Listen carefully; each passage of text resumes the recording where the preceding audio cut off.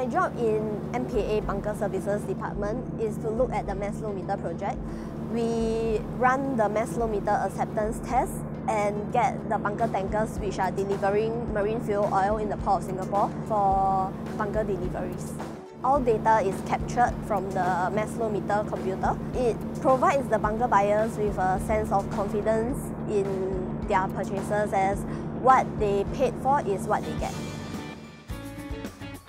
I've been involved in the development of the mobile apps from user requirements gathering to talking with vendors and uh, designing and developing and testing the apps.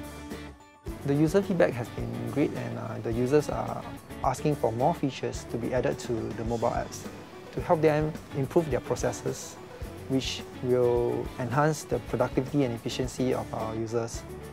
In my three years with MPA, I'm very grateful to be given the opportunity to be involved in uh, the development of mobile apps, which is a first for MPA. It's also a first for me